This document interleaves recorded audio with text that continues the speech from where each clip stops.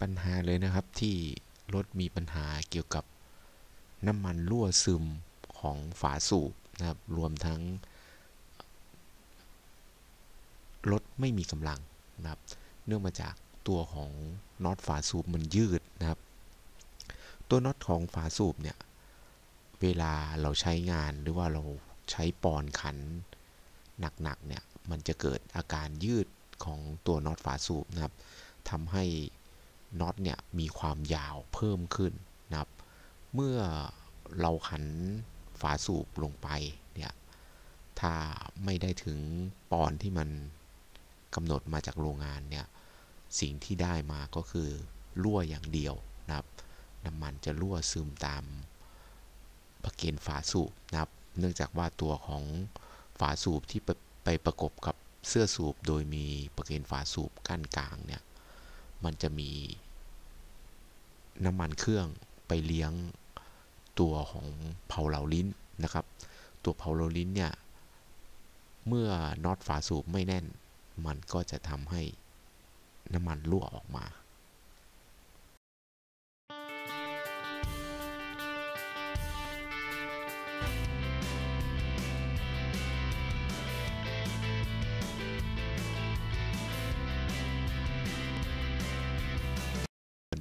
เพื่อนๆที่ใช้รถและสวัสดีเพื่อนๆที่สนใจเกี่ยวกับเรื่องรถนะครับ คันนี้เพิ่งทำเครื่องมาได้ไม่ถึงปีนะครับ แล้วก็มีอาการรั่วนะครับ น้ำมันเครื่องรั่ว ต้องเติมน้ำมันเครื่องบ่อยนะครับ ผมก็ต้องจัดการยกเครื่องออกมานะครับ เพื่อจะทำการ ซ่อมแซมในส่วนที่น้ำมันเครื่องมันรั่ว เพื่อนๆจะสังเกตได้นะครับ มันมีรอยรั่วซึมเยอะมากเลยนะครับ ซึ่งสาเหตุของมันมีหลายสาเหตุเลยนะครับ ไม่ว่าจะเป็นอะไรที่ไม่ได้คุณภาพนะครับ 2. อุปกรณ์ที่มันใช้งานมานานเนี่ยไม่ได้เปลี่ยนนะครับ อย่างเช่นตัวของน็อตฝาสูบนะครับ ซึ่งมีการยืดของตัวน็อตฝาสูบ การยืดของน็อต ตัวฝาสูบเนี่ยเพื่อนๆก็จะเข้าใจอยู่แล้วนะครับว่าเวลาเราขันทอร์กหรือว่าขันปอนอัดฝาสูบเนี่ยเราต้องใช้ค่าที่เยอะมากเลยนะครับ ก็คือขันในในปอนที่มันสูงมากเลยนะครับ ก็แทบจะเกือบขาดเลยนะครับ แต่ถ้าน็อตฝาสูบมันมีปัญหาเนี่ยมันจะทำให้ตัวของประเกนที่เราเปลี่ยนไปเนี่ย ไม่สามารถที่จะปิดกั้น การรั่วซึมของน้ำมันเครื่องได้นะครับผมคือ Isuzu D-Max นะครับ รหัสเครื่อง 4JK1 นะครับ หรือว่าเครื่อง 2005 เป็นรถที่ใช้กันมากนะครับ แล้วก็ในตัวของเครื่องเนี่ย เมื่อมีลักษณะการรั่วเนี่ย เจ้าของรถเนี่ยจะต้องเติมน้ำมันเครื่องบ่อยมากเลยนะครับ ตัวสาเหตุของมันเลยนะครับ นี่คือน็อตฝาสูบที่ผมถอดออกมาแล้วนะครับเนื่องจากว่าน็อตฝาสูบเนี่ยตอนถอดเนี่ยเหมือนกับมันไม่แน่นเลยนะฮะมันไม่แน่นมันไม่มีความแน่นเลยนะครับรถขับมาก็ต้องเติมน้ำมันเครื่องบ่อยมากเลยนะครับ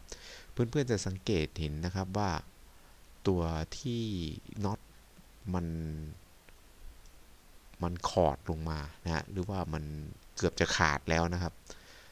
ในในในตัวของน็อตฝาสูบเนี่ย ของตัว i s u d Max เนี่ย เวลาเราอัดปอน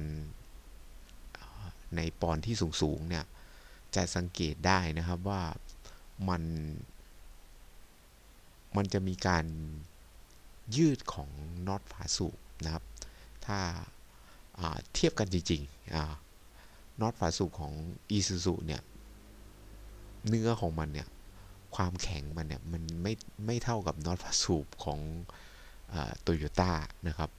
น็อตฝาสูบโตัวต้าเนี่ยค่อนข้างที่จะแข็งกว่านะครับ แล้วก็อัดปอนได้ได้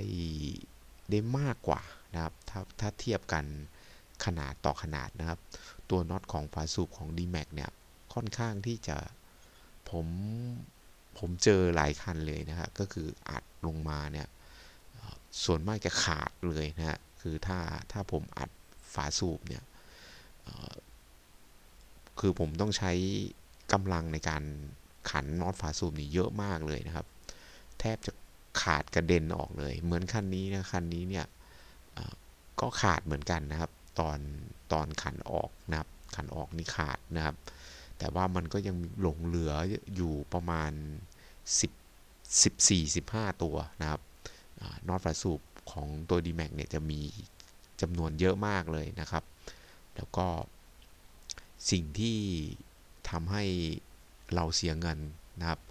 โดยใช่เหตุนะครับ ถ้าน็อตฝาสูบมันมันยืดมากๆเนี่ย เราก็ควรจะเปลี่ยนน็อตฝาสูบไปเลยนะครับ เหมือนกับที่ ผมกำลังอธิบายในคลิปนะครับ รถคันนี้ทำเครื่องมาครึ่งแสนแล้วนะครับ แล้วมาทำอีกครั้งหนึ่งเนี่ยก็ก็ประมาณจะจะเกือบแสนนะผมตีซะว่าเป็นแสนนะเพราะว่าเขาจะต้องเสียเงินค่าเช่ารถเพื่อจะไปรับคนงานของเขานะครับ ซึ่งค่าเช่ารถเนี่ยก็รวมตีเหมาในในการทำรถด้วยนะครับ แล้วก็ค่าเสียเวลา